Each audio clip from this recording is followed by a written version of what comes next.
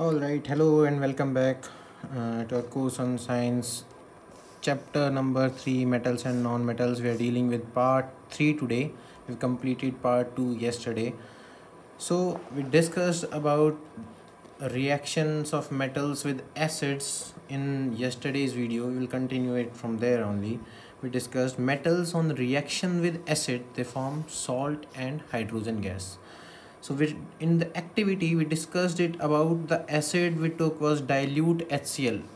we took dilute H C L acid हमने dilute H C L acid लिया जब उसको मेटल के साथ मिलाया तो उसने उसी मेटल का सॉल्ट बनाया प्लस हाइड्रोजन गैस रिलीज करी if in place of dilute H C L if we take H N O three that is nitric acid अगर हम एच सी एल की जगह नाइट्रिक एसिड लेते हैं then what happens see nitric acid is a strong oxidizing agent strong oxidizing agent का मतलब क्या होता है oxidation reaction we have discussed in chapter one video oxidation का मतलब क्या होता है addition of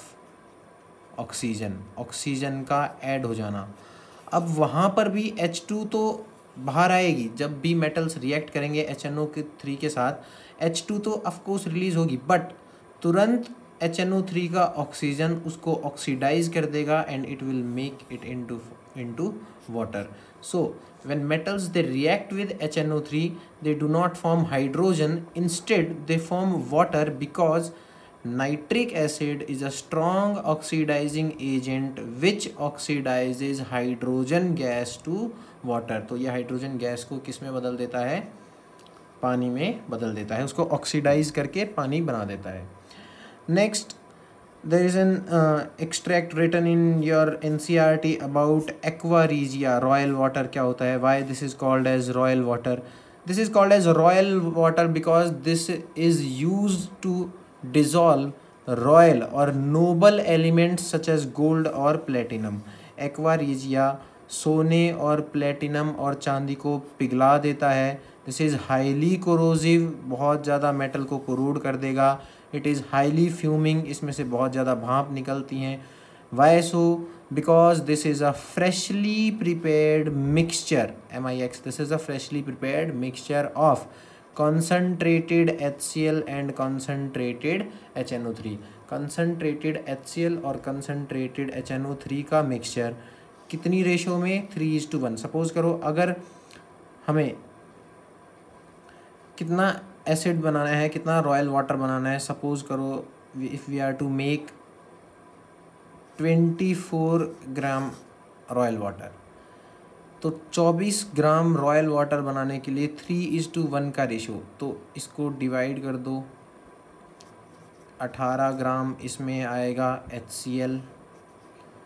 और सिक्स ग्राम इसमें आएगा H N O three three is to one का रेशियो होगा so also the gold that we use is twenty two carat gold बाकी उसमें मिक्स होता है कॉपर और सिल्वर क्योंकि चौबीस कैरेट गोल्ड बहुत सॉफ्ट होता है and it can not be use to make jewellery this is some extract mentioned in your N C R T nothing more than that now the next topic we are going to start is how to metals and non metals react with each other metals और non metals आपस में कैसे react करते हैं I show you as a list of some metals as well as some non metals so I one by one I will write the symbol their atomic number electronic configuration and valency you have learn to all these in class ninth also so sodium symbol N A atomic number eleven electronic configuration two eight is one one plus all right magnesium symbol is mg atomic number is 12 electronic configuration 282 valency is plus 2 because it will lose two electrons to form positive charge electropositive metals they are electropositive in nature potassium k atomic number 19 electronic configuration 2881 it will also lose one electron to form positive charge Calcium, Ca, atomic number 20, electronic configuration 28A2. It will lose 2 electrons to form positive charge. So this is all about metals. Now dealing with non-metals, nitrogen symbol N, atomic number 7, electronic configuration 2,5. It need 2 electrons, therefore valence is -2. All right, sorry, -3 needs 3 electrons. Oxygen atomic number 8 electronic configuration 2 6 valency will be minus 2. Chlorine Cl atomic number 17 electronic configuration 287 it need one electron therefore valency is minus 1. So from this list I am taking sodium and chlorine how these will react with each other so when sodium and chlorine in aqueous solution they are mixed what they do sodium it forms Na positive by losing one electron ये अपना एक electron lose करता है valency बनाता है plus one अब ये जो एक इलेक्ट्रॉन लूज किया सोडियम ने this one electron is gained by C L negate chlorine this one electron is gained by chlorine and chlorine forms Cl negative. This one electron is gained by chlorine at chlorine forms Cl negative. Now since these are ions positive and negative you all know positive and negative they attract each other the force of attraction this is electrostatic or ionic force of attraction FOA force of attraction so there is a complete transfer of electron from sodium to chlorine there is a complete transfer of electron एक electron पूरी तरह से sodium से निकलकर chlorine पर आ गया तो ये जो बॉन्ड बनता है एन ए पॉजिटिव और सी एल नेगेटिव के बीच में this bond is called as ionic bond this bond is called as ionic bond the bond formed by complete transfer of electrons from atom of one element to atom of other element is called as ionic bond एक ऐसा bond जिसमें एक element के atom से एक electron दूसरे element के atom पर पूरी तरह ट्रांसफर हो जाए ऐसे बॉन्ड को हम क्या बोलते हैं ionic bond now there are some properties of ionic compounds what are ionic compounds the compounds which have ionic bonding in between them they are called as which have ionic bonding in between the elements which are combined to form that compound they are called as ionic compounds all right so कुछ properties होती हैं ionic compounds की physical nature they are generally solid they are generally hard why hard because they have strong ionic और electro ionic forces of attraction they are brittle now what is does this term means that whenever we hit ionic compound with a strong substance they break into pieces आप नमक की एक चट्टान नमक what is नमक N A C L नमक क्या है एन ए सी एल नमक पर जब आप किसी सब्सटांस से हिट करोगे तो वो छोटे छोटे टुकड़ों में टूट जाएगा and those pieces will not have sharp edges और उनके नुकीले किनारे नहीं होंगे they will not have sharp edges so such property is called as brittleness so ionic compound they are generally brittle in nature now melting point and boiling point so ionic compound they have high melting and boiling point because of strong interionic attraction Next, they are soluble in water but they are insoluble in other solvents such as kerosene, petrol and benzene. Electricity conduction अगर कोई ionic compound molten state में है तो electron electricity उसमें से पास हो जाएगी of course pass होगी if it is in an aqueous solution then absolutely electricity will pass why electricity will pass because of movement of ions कौन से आयंस एन ए बन जाएगा एन ए पॉजिटिव और सी एल हो जाएगा C L negative इन्हीं के movement की वजह से उसमें से इलेक्ट्रिसिटी कंडक्ट हो पाएगी now we come to the topic we have learn about many metals and many non metals so where are these metals and non metals found so on this criteria with come to the concept of minerals and ores we come to the concept of minerals and ores so elements and compounds which occur naturally in earth's crust they are called as minerals ऐसे element और compound जो प्राकृतिक रूप से हमारी पृथ्वी में पाए जाते हैं उन्हें हम क्या बोलते हैं minerals all those elements and compounds which occur naturally in earth crust they are called as minerals but किसी जगह पर एट सम प्लेस कोई मिनरल उसमें किसी मेटल की परसेंटेज बहुत ज़्यादा हो जाए और हम उस मेटल को वहाँ से प्रॉफिटेबली एक्सट्रैक्ट कर पाएँ तो उसे हम क्या बोलते हैं ore then such a mineral is called as ore example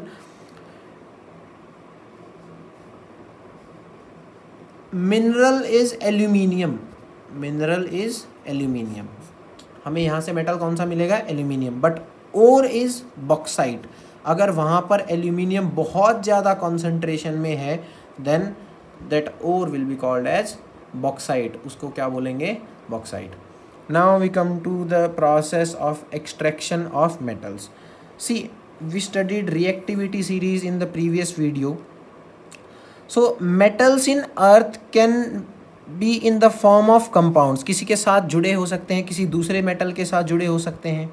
and they can also be in free state और वो फ्री स्टेट में भी हो सकते हैं सिंपली मिट्टी होगी उनके आसपास फ्री स्टेट में कौन से मेटल होंगे वही मेटल जो लीस्ट रिएक्टिव होंगे and those least reactive metals they are A U and A G A U is gold A G is silver they are least reactive so they will be they will you will get them in earth crust in free state वो किसी से react ही नहीं करते क्योंकि वो बहुत कम reactive हैं बट जो रिएक्टिव मेटल्स होंगे they will form compound they will form compounds with other metal दूसरे मेटल्स के साथ मिलकर क्या बनाएंगे कंपाउंड सो मेटलर्जी को समझने की कोशिश करते हैं on the basis of activity series और रिएक्टिविटी सीरीज रिएक्टिविटी सीरीज में सबसे नीचे देखो gold silver copper lead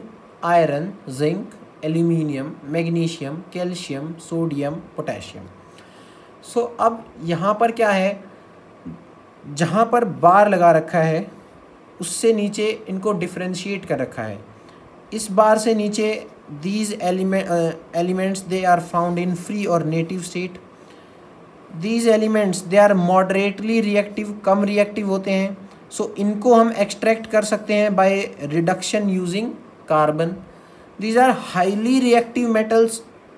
so since they are highly reactive तो कार्बन से रिडक्शन नहीं होगी तो इनके लिए मेथड होता है इलेक्ट्रोलिसिस हम इन मेटल्स को इनके मोल्टन स्टेट में कन्वर्ट करते हैं फिर उसके बाद उसका इलेक्ट्रोलिसिस करते हैं will discuss this in detail in upcoming video all right so process क्या होता है एक बार हमने और फाइंड आउट कर ली what is ore the place from which mineral or metal can be extracted properly then that mineral is called as ore सबसे पहले करेंगे हम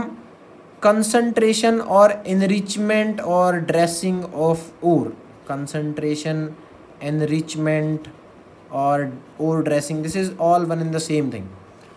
concentration enrichment या और ड्रेसिंग का मतलब क्या है अब जहाँ पर हम मेटल को खोज रहे हैं वहाँ पर बहुत सारी इम्प्योरिटीज़ भी होंगी of course sand other metals their compounds many more things so all those impurities are collectively called as gangues सारी की सारी इम्प्योरिटीज़ किसी भी और में मेटल के अलावा जितनी भी इम्प्योरिटीज़ हैं हम उन सबको क्या बोलते हैं gangue so so, ore dressing की बहुत सारी टेक्निक्स होती हैं suppose one I am listing two of them over here froth flotation magnetic separation there will be many techniques that you will study in class twelfth also यहाँ के लिए सिर्फ इतना ही मैग्नेटिक सेपरेशन कैसे सपोज करो we are having we are dressing और we are concentrating the ore of iron हम आयरन ओर को कॉन्सनट्रेट कर रहे हैं what we will do is we will use a magnet तो जितना भी आयरन हम्म, होगा वो मेटल के साथ चिपक जाएगा but the other sand and other impurities they will not stick to the magnet therefore they will be left out तो हमारे पास ज़्यादा मात्रा में क्या आएगा आयरन बाहर आ जाएगा similarly froth flotation is also a method which is based on density froth होता है झाग झाग बनते हैं पानी में इम्प्योरिटीज़ जो होती हैं वो नीचे डिपॉजिट हो जाती हैं लाइटर मेटल जो होता है वो ऊपर आ जाता है सो कॉन्सेंट्रेशन ऑफ ओर के बाद हम एक टेबल से समझेंगे तीनों metals of high reactivity medium reactivity और लो रिएक्टिविटी को कैसे एक्सट्रैक्ट करते हैं so metals of high reactivity will discuss later metals of medium reactivity medium reactivity के मेटल्स कौन से हैं जिंक आयरन और लेड अब ये कंपाउंड बनाएंगे since they are moderately reactive तो ये कंपाउंड बनाएंगे इधर कार्बोनेट की फॉर्म में और सल्फाइड की फॉर्म में so these ores will be in the form of इधर carbonate Z N C O three एक एग्जाम्पल है जिंक कार्बोनेट और सल्फाइड और एक एग्जाम्पल है जिंक सल्फाइड तो कार्बोनेट और को हम ऑक्साइड ऑफ मेटल में कन्वर्ट करते हैं किस में कन्वर्ट करते हैं ऑक्साइड में हमारा गोल क्या है कि किसी भी मेटल को जो कि बहुत ज़्यादा रिएक्टिव नहीं है मॉडरेटली रिएक्टिव है या लेस रिएक्टिव है लीस रिएक्टिव है हम उस मेटल को उसके ऑक्साइड में कन्वर्ट करते हैं और उसके बाद हम रिडक्शन कर देते हैं उसका कार्बन के साथ क्योंकि कार्बन को बड़ा प्यार है जी ऑक्सीजन के साथ किसी भी मेटल के साथ लगाओ not these high reactive metals तो अगर मॉडरेटली रिएक्टिव मेटल का ऑक्साइड है या फिर लो रिएक्टिव मेटल का ऑक्साइड है उसमें अगर आप कार्बन डालते हो तो फटाक से ऑक्सीजन को अपने साथ ले जाएगा और आपके पास प्योर मेटल छोड़ देगा अब बात करते हैं कि कार्बोनेट और को ऑक्साइड में कैसे बदलते हैं उस प्रोसेस का नाम है कैल्सिनेशन और सल्फाइड और को उस मेटल के ऑक्साइड में बदलते हैं उस प्रोसेस का नाम है रोस्टिंग रोस्टिंग सबको पता है चिकन रोस्टेड चिकन खाते भी गए आप लोग so roasting is done in the presence of air air की प्रेजेंस में जो प्रोसेस होगी उसको बोलेंगे रोस्टिंग बेसिकली हीटिंग है आपको इस ओर को हीट करना है in the presence of air तो ये प्रोसेस बन जाएगी roasting if you will heat a carbonate ore in absence of oxygen और very limited supply of oxygen then this process is called as calcination calcination और roasting से एक बार आपके पास ऑक्साइड आया you will reduce it with the help of carbon and this will become carbon monoxide and you will get the pure metal same metals of low reactivity copper and silver they will you will find them in form of sulfide ores sulfide ores ki roasting converted into metal oxide reduction by carbon you will get metal but here you will get some impurities still in that metal यहाँ पर आपको फिर भी थोड़ी बहुत impurities मिल ही जाएंगी क्योंकि we are not basically 100% impurity proof आप मेटल को नहीं बना सकते आपको उसकी रिफाइनिंग करनी ही है बाद में so we discuss two process over here calcination and roasting दोनों में फटाफट डिफरेंस देख लेते हैं calcination is done for carbonate ores roasting is done for sulphide ores in calcination heating of ore is done in the absence of oxygen while in roasting heating of ore is done in the presence of oxygen when we do calcination then carbon dioxide is, gas is released and during roasting sulfur dioxide gas is released there is one more thing to notice that when uh, i told you that we do the reduction of oxide of metal by carbon but this process can be changed also we have studied displacement reaction in chapter 1 displacement reaction में हम क्या करते हैं एक high reactive metal को डालते हैं एक लो रिएक्टिव मेटल के सॉल्ट सॉल्यूशन में वो उसको डिस्प्लेस कर देता है आपके पास मेटल बच जाता है और वो खुद उसके सॉल्ट सॉल्यूशन में जाके मिक्स हो जाता है तो यहाँ पर मैंगनीज एक मेटल है उसको ऑक्साइड में कन्वर्ट करा मैंगनीज ऑक्साइड आप सब देख रहे हो इसके अंदर एल्यूमिनियम का पाउडर डाल दिया अब एल्यूमिनियम रिएक्टिविटी सीरीज़ में मैंगनीज से बहुत ऊपर है तो ये क्या करेगा इस ऑक्साइड के साथ खुद बॉन्ड बना लेगा और मैंगनीज को अलग छोड़ देगा you will get manganese in the molten state molten state में क्यों मिलेगा आपको ये क्योंकि displacement reactions are exothermic displacement reactions कैसी होती हैं exothermic displacement reactions are exothermic अब since displacement reactions are exothermic इसका एक यूज़ है इसका यूज़ करते हैं कहाँ पर रेलवे ट्रैक्स को ज्वाइन करने में दो रेलवे ट्रैक्स को जोड़ने में हम इस डिस्प्लेसमेंट रिएक्शन का यूज़ करते हैं इसको बोलते हैं थर्मिट प्रोसेस थर्मिट प्रोसेस में क्या होता है iron oxide which is solid in nature उसके साथ एल्यूमिनियम पाउडर मिक्स किया जाता है थर्मिट प्रोसेस में you will get iron in molten state Why molten? Because in this displacement reaction also when aluminium oxide is formed, there is a tremendous amount of heat that is released which convert this iron into molten state or us molten iron ko वहाँ par railway tracks ko join करने ke liye use kar liya jata hai otherwise no, कहाँ se laoge itni heat वहाँ par next is extraction of highly reactive metals ये हमने पीछे छोड़ दिया था वाई इलेक्ट्रोलिसिस इलेक्ट्रोलिसिस ही क्यों करते हैं क्योंकि जो हाईली रिएक्टिव मेटल होते हैं अगर वो ऑक्साइड बनाते हैं तो उन ऑक्साइड्स को कार्बन से हम रिड्यूस नहीं कर सकते to get the pure metal क्यों नहीं कर सकते बिकॉज सपोज करो you have this aluminium oxide ए है आपके पास you put carbon in it generally क्या होता था कार्बन ऑक्सीजन के साथ कंबाइन कर लेता था बट यहाँ पर पावरफुल कौन है aluminium aluminium is highly reactive metal ये कहता है कि मैं नहीं जाने दूंगा ऑक्सीजन को अपने पास से इस स्टेटमेंट का मतलब क्या है that these highly reactive metals have more affinity for oxygen than carbon in highly reactive metals को ऑक्सीजन से ज़्यादा प्यार है ना कि कार्बन से therefore their reduction can not be done with the help of carbon तो इनका क्या करते हैं electrolysis of such metals in their molten chloride metals को ऐसे हाईली रिएक्टिव मेटल के क्लोराइड सॉल्यूशंस का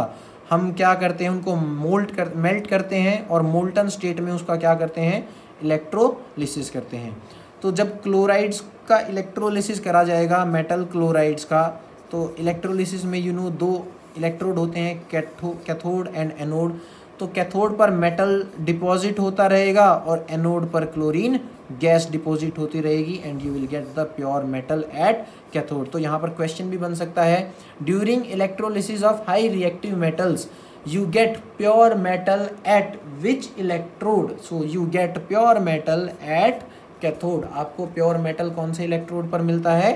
कैथोड पर मिलता है next is refining of metals मैंने बताया कि रोस्टिंग करने के बाद कार्बन से रिडक्शन के बाद भी कुछ इम्प्योरिटीज़ उस मेटल के साथ रह जाती हैं सो so, उनका हम क्या करते हैं वी डू रिफाइनिंग और इलेक्ट्रोलिटिक रिफाइनिंग कौन से metals copper zinc S N is the symbol for tin N I is nickel A G is silver A U is gold हम क्या करेंगे बेसिकली इलेक्ट्रोलिटिक रिफाइनिंग में विल यूज़ अ टैंक एक tank लेंगे उसके अंदर जो भी इम्प्योर मेटल हमें हमारे पास है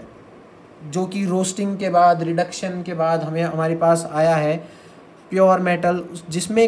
स्टिल कुछ इम्प्योरिटीज़ हैं हम उसको एनोड बनाएंगे अब देखो मैं बार बार बोलता हूँ कि आप उसको एनोड बनाओगे एनोड बनाओगे how will you make it anode anode कैसे बनाओगे आप उस इलेक्ट्रोड का पॉजिटिव टर्मिनल बैटरी के पॉजिटिव टर्मिनल के साथ कनेक्ट कर दोगे तो वो क्या बन जाएगा एनोड तो क्या बन जाएगा anode so impure metal is made anode and now you will connect this with the other electrode also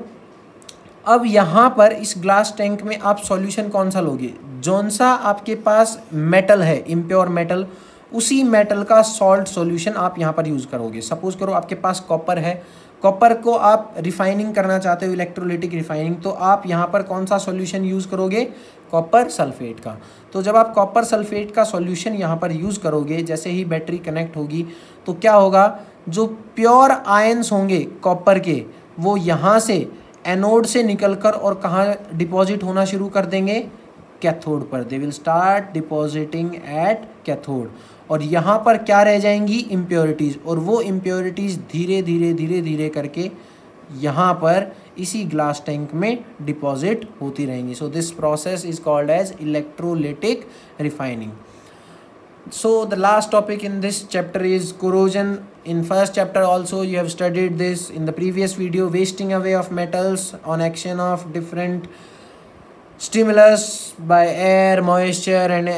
any other metal और gas present in atmosphere this leads to corrosion तो यहाँ पर कुछ ऑब्जर्वेशंस हैं जिन्हें हमें नोट करना है जो कि बहुत इम्पॉर्टेंट है सिल्वर का कोरोजन कैसे होता है सिल्वर चांदी काली पड़ती है कब जब वो हवा में प्रेजेंट सल्फ़र के साथ रिएक्ट करती है और कैसा कलर बना बनाता बनता है उसका ब्लैक और ये जो कंपाउंड होता है ब्लैक कलर का इसको क्या बोलते हैं silver sulphide A G S तो प्लीज़ नोट इट कोई भी सिल्वर ऑक्साइड कभी नहीं लिखेगा I have notice students writing corrosion with linking this to the rusting process जैसे कि आयरन की रस्टिंग होती है उसमें आयरन ऑक्साइड बनता है सब उसको ऐसे ही लिख देते हैं सिल्वर की कोरोजन से बनता है सिल्वर सल्फाइड चांदी का कोरोजन चांदी को काला बनाता है और काला जो बनता है वो क्या होता है सिल्वर सल्फाइड क्यों बनता है because it react with sulphur present in the air copper copper carbonate बनता है जो कि ब्राउन और ग्रीन कलर का एक कोट होता है शाइनी होता है और इसका रीज़न होता है कि हवा में जो कार्बन डाइऑक्साइड प्रेजेंट होती है और मॉइस्चर प्रेजेंट होता है उसके साथ रिएक्ट करता है copper and it it turns into copper carbonate which is brown and green exam में आपसे डायरेक्ट पूछ लेगा corroded copper what is the color of corroded copper you'll have to write brown and green what, what is the compound formed after corrosion of copper you will write copper carbonate similarly is iron iron mein brown flaky substance banta hai that is called as rust uska formula kya hota hai fe2o3 now how can we prevent corrosion corrosion को होने से हम बचा कैसे सकते हैं बहुत सारे तरीके हैं आप उस आर्टिकल को पेंट कर दीजिए आप उसके ऊपर ऑयल अप्लाई कर दीजिए ताकि वो मॉइस्चर के कॉन्टैक्ट में ना आए जो अप्लाई ग्रीज ऑन इट आप उसकी गेलवेनाइजिंग और गेलवेनाइजेशन कर दो गेलवेनाइजेशन का मतलब क्या होता है डिस्कस इट आप किसी भी मेटल के ऊपर जिंक की एक कोटिंग डाल दो this is called as galvanisation anodising we have discussed in previous video video आप क्या करोगे एनोड बनाओगे ताकि एनोड बना दोगे एल्यूमिनियम को ताकि एक thick layer of aluminium oxide उसके ऊपर डिपॉजिट हो जाए या फिर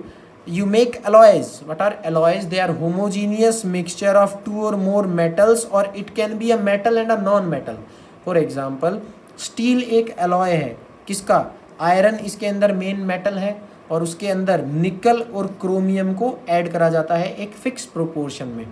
अब ये स्टील बनाने की प्रोसेस क्या होती है सबसे पहले you have to melt the primary metal तो अब स्टील बनाओगे कैसे पहले आयरन को मेल्ट करोगे then you will add another metal or non metal in the right proportion to make steel so this completes your video and your lesson all the best all the luck please share your reviews about the lesson read it many times watch the video make your notes thank you